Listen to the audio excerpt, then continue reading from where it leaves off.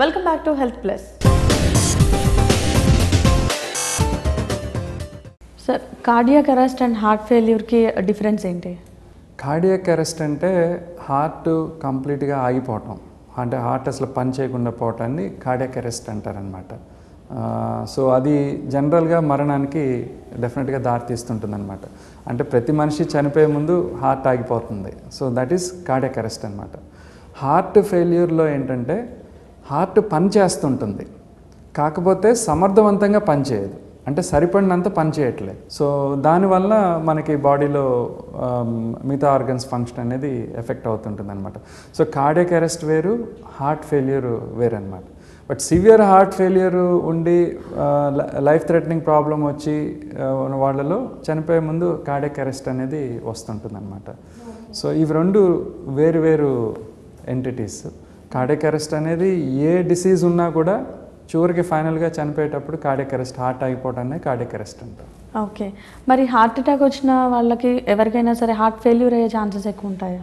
Heart attack వచ్చిన ప్రతి ఒక్కరికి హార్ట్ ఫెయిల్యూర్ రావాలని లేదు. ఇప్పుడు హార్ట్ అటాక్ ఏంటంటే గుండెకి రక్తం సరఫరా చేసే రక్తనాళాల్లో ఏదైనా రక్తనాళం సడన్గా బ్లాక్ అయితే ఆ హార్ట్లో ఆ భాగానికి ఏ భాగానికైతే ఈ రక్తనాళం బ్లడ్ సర్క్యులేట్ చేస్తుందో ఆ భాగం అంతా కూడా చచ్చిపడిపోతుంది అనమాట అంటే ఆ భాగం అంతా పని చేయకుండా పోతుంది అనమాట సో దానివల్ల హార్ట్కి డ్యామేజ్ జరుగుతుంటుంది.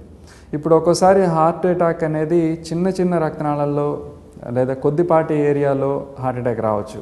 అంటే మైనర్ హార్ట్ అటాక్స్ రావచ్చు. సో ఇటువంటి వాళ్ళలో హార్ట్కి డ్యామేజ్ అనేది కొద్దిగానే ఉంటుంది. బట్ అదే మేజర్ రక్తనాళం ఏదైనా బిగినింగ్లో సడన్గా బ్లాక్ అయితే హార్ట్లో చాలా భాగం ఒకేసారి దెబ్బతినే అవకాశం ఉంటుందన్నమాట. ఇలాగా హార్ట్ మజిల్లో ఎక్కువ భాగం పర్మనెంట్గా డ్యామేజ్ అయినప్పుడు హార్ట్ ఫెయిల్యూర్ అనేది వచ్చే అవకాశం ఉంటుంది.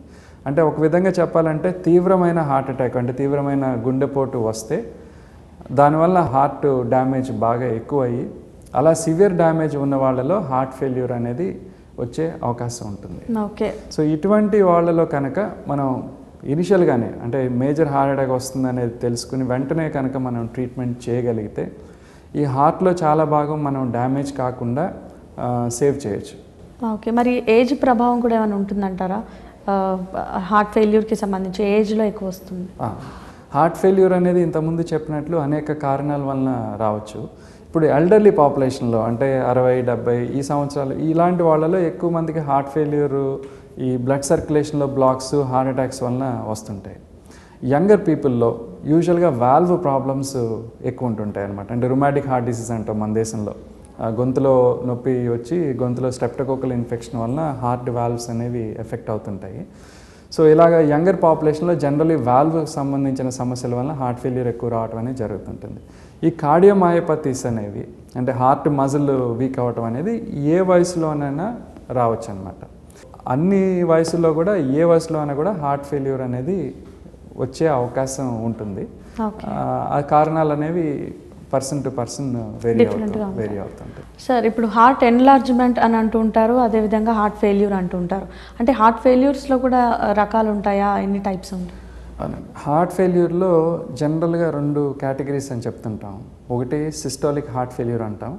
రెండోదేమో డయాస్టలిక్ హార్ట్ ఫెయిల్యూర్ అంటాం. అంటే తేడా ఏంటంటే ఇప్పుడు నార్మల్గా హార్ట్ లోపల బ్లడ్ ఫిల్ అవుతుంది. బ్లడ్ ఫిల్ అయినప్పుడు హార్ట్ పంప్ చేస్తుంటుంది అనమాట సో ఒక హండ్రెడ్ ఎంఎల్ లోపల ఫిల్ అయితే generally sixty to seventy ML pump చేస్తుంటుంది. సో ఇది సిక్స్టీ పర్సెంట్ ఎఫిషియన్సీ అంటాం సెవెంటీ పర్సెంట్ ఎఫిషియన్సీ అంటాం ఇజెక్షన్ ఫ్రాక్షన్ అంటాం అనమాట సో ఈ సిస్టాలిక్ హార్ట్ ఫెయిల్యూర్లో ఏమవుతుందంటే ఆ పంపింగ్ ఫంక్షన్ అనేది బాగా తగ్గిపోతుంది అనమాట అంటే సిక్స్టీ పర్సెంట్ ఉండాల్సింది అది థర్టీ పర్సెంట్ కావచ్చు ట్వంటీ పర్సెంట్ కావచ్చు అలాగా పంపింగ్ అనేది తగ్గిపోతుంటుంది. సో దీన్ని సిస్టోలిక్ హార్ట్ ఫెయిల్యూర్ అంటాం. రెండో విధానం ఏంటంటే diastolic heart failure. Diastolic heart ఫెయిల్యూర్లో ఏంటంటే బేసికల్గా ప్రాబ్లము హార్ట్ మజిల్ స్టిఫ్ అవుతుందన్నమాట. సో స్టిఫ్ అవటం వల్ల ఏమవుతుందంటే ఇప్పుడు నార్మల్గా హార్ట్ రిలాక్స్ అయినప్పుడు బ్లడ్ ఫిల్ అవుతుంది. అండ్ దాన్ని హార్ట్ పంప్ చేస్తుంటుంది అనమాట ఈ డయాస్టిలిక్ హార్ట్ ఫెయిల్యూర్లో ఏంటంటే పంపింగ్ ఎఫిషియన్సీ బాగానే ఉంటుంది. కానీ హార్ట్ బాగా స్టిఫ్గా ఉండటం వలన ఆ ఫీలింగ్ అనేది తక్కువ ఉంటుంది అనమాట అంటే ఉదాహరణకి నార్మల్గా హార్ట్ బాగా రిలాక్స్ అయ్యి బ్లడ్ ఫిల్ అయితే లెట్సే ఒక హండ్రెడ్ ఎంఎల్ ఫిల్ అవుతుంది అనుకోండి ఈ హార్ట్ బాగా స్టిఫ్గా ఉండటం వల్ల హండ్రెడ్ ఎంఎల్ ఫిల్ అవ్వదు. సిక్స్టీ ఎంఎల్ సెవెంటీ ఎంఎల్లో ఫిల్ అవుతుంది. స్టిఫ్నెస్ ఎక్కువ ఉండటం వల్ల. ఆ ఫిల్ అయిన దానిలో సిక్స్టీ పర్సెంట్ బ్లడ్ పంప్ చేస్తుంటుంది. అంటే హార్ట్ ఎఫిషియన్సీ బాగానే ఉంటుంది. దాని పంపింగ్ కెపాసిటీ బాగానే ఉంటుంది. కానీ రిలాక్సేషన్ తగ్గుతుంది అనమాట సో దీనివల్ల కూడా హార్ట్ ఫెయిల్యూర్ అనేది రావచ్చు. ఇది ఎక్కువగా హై బీపీ ఉన్న వాళ్ళలో వస్తుంటుంది అనమాట సో దీన్ని డయాస్టలిక్ హార్ట్ ఫెయిల్యూర్ అంటాం. అంటే systolic heart failure where pumping capacity బాగా తగ్గిపోయి ఉంటాం. డయాస్టలిక్ హార్ట్ ఫెయిల్యూర్ అంటే పంపింగ్ బాగానే ఉంటుంది. కానీ స్టిఫ్నెస్ అనేది పెరిగిపోతుంటుంది అనమాట సో వీళ్ళలో ఈ సిస్టోలిక్ హార్ట్ ఫెయిల్యూర్ ఉన్న వాళ్ళలో హార్ట్ అనేది బాగా ఎన్లాజ్ అవుతుంటుంది. హార్ట్ ఫెయిల్యూర్ ఉన్న వాళ్ళు ఎక్కువ మందికి సిస్టోలిక్ హార్ట్ ఫెయిల్యూర్ ఉంటుంది. టూ థర్డ్ మందిలో heart failure is heart failure అనమాట సో దానిలో హార్ట్ బాగా ఎన్లాజ్ అవుతుంటుంది. So many time heart failure ఉంది అని చెప్పినప్పుడు ఇలాంటి అనేక పదాలు వాడుతుంటాం. అంటే హార్ట్ బాగా ఎన్లాజ్ అయింది హార్ట్ సరిగా పనిచేయట్లేదు లేదా పంపింగ్ బాగా తగ్గిపోయింది హార్ట్ ఫెయిల్యూర్లో ఉన్నారు. సో ఇవన్నీ they go hand in hand అనమాట ఓకే అండ్ ఇప్పుడు హార్ట్ ఫెయిల్యూర్కి సంబంధించి ట్రీట్మెంట్లో వచ్చినటువంటి కొత్త విధానాలు ఏంటండి?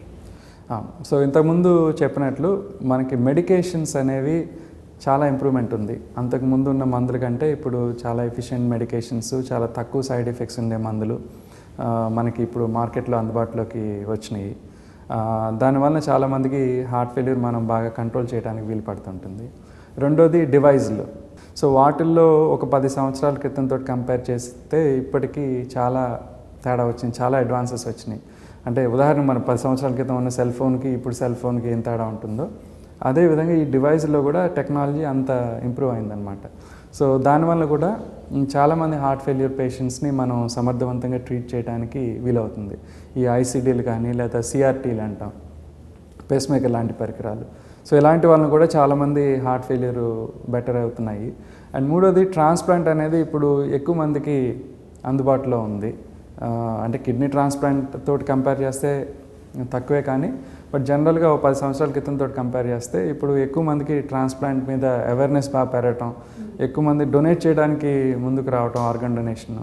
And then facilities కూడా పెరిగి ఇప్పుడు ఎక్కువ నగరాల్లో ఇలా హార్ట్ ట్రాన్స్ప్లాంట్ చేయడానికి అవకాశం కూడా పెరిగిందనమాట సో ఈ అన్ని అడ్వాన్సెస్ వలన ఇప్పుడు ఇంతకుముందు హార్ట్ ఫెయిల్యూర్ అంటే కొద్ది నెలల్లోనూ కొద్ది సంవత్సరాల్లోనూ మరణాలు జరుగుతుండేవి ఇప్పుడు మనం చాలా కాలం లైఫ్ని ప్రొలాంగ్ చేయడానికి వీలు పడుతుంది and with a better quality of life మన. పదేళ్ళు పదిహేను ఏళ్ళు అనేది కాకుండా ఆ పదేళ్ళు పదిహేను ఏళ్ళలో క్వాలిటీ ఆఫ్ లైఫ్ కూడా చాలా వరకు ఇంప్రూవ్ చేయడానికి. ఈ ఈ మధ్య కాలంలో వచ్చిన అడ్వాన్సెస్ చాలా ఉపయోగపడుతుంది హార్ట్ ఫెయిల్యూర్ అంటే ఏంటి? మరి దీనికి సంబంధించి ఎటువంటి ట్రీట్మెంట్ అందుబాటులో ఉందో చాలా క్లియర్గా చెప్పారు. Thank you so much sir ఇది వాళ్ళ హెల్త్ ప్లస్ మరో టాపిక్తో మళ్ళీ కలుద్దాం. నమస్తే.